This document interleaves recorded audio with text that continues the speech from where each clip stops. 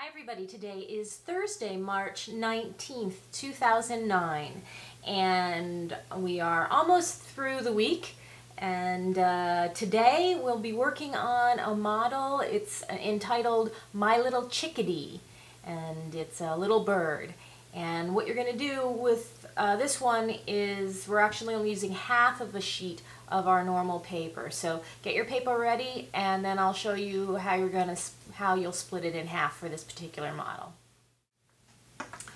Alright, so uh, take your paper now and fold it in half on the diagonal and then cut it in half along the line that you fold. And then you're going to work with one one triangle at a time. One piece of origami paper in this case would make two of these birds. All right then, so with your half of a sheet of paper with the white side facing up, the first thing you're going to do is just fold it in half like that and then open it right back up. Then flip it around and fold each one of these corners over and you're you're folding it so that the line here is exactly parallel to the bottom of the piece. So first one side and then the other like that. And when you're done your piece will look like this.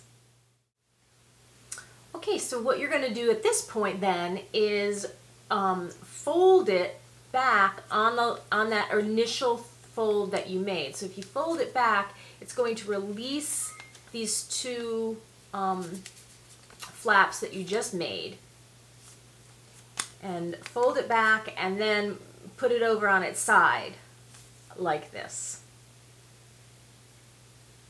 So again, it looked like this and you already had a crease uh, in the center. You're just folding along that crease and releasing these flaps up and then holding it over on its side. And obviously these are going to become the wings of this bird.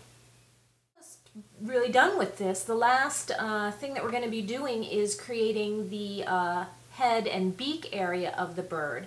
And that's really a, uh, a three-part move. First, what you're going to do is to bend this tip, fold it over so that, and it's this is directly in line here. So fold it over and create a really good crease there. Then open it back up.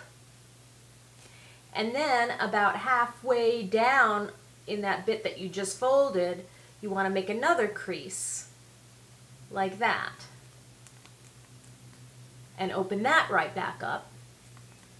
And then the last thing that you're going to do is then open this entire piece up and on the wider crease that you made, you're pushing in and on the smaller crease that you made, you'll be pushing that part up. So this part in, that part up, and you end up, I don't think that came out on the on screen. So the big part's going in, and the little part is going up. So that that little beak is peeking out. And if you look on the inside, you'll see how how it's configured there.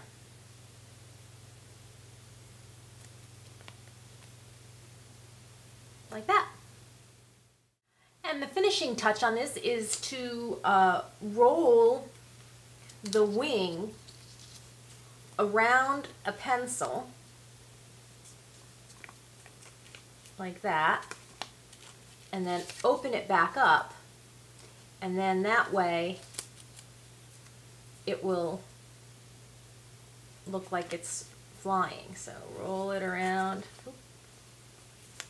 pencil, open it back up, and then once you do, your bird's wings will, this one's a little sad. There you go. And there's your little chickadee. Okay, so there you have it. We, uh, we did our little chickadees. And uh, that's it for today. Uh, we have one more model for this week, and it is called an executive toy. And uh, I think it's, it's a little interesting. I'll, I'll uh, I'll tease you with this because uh, so when you come back tomorrow, it, it's going to be the next tomorrow and next week are going to be a little different than what we've been doing thus far. So I'll leave you with that, uh, and I'll see you back here then for uh, for the executive toy for tomorrow. But enjoy the rest of your evening, and I'll be back here uh, again before you know it.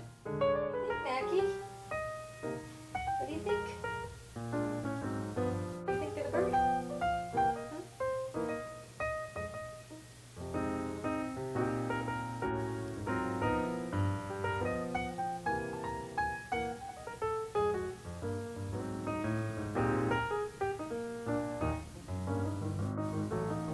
I don't know that she's very impressed.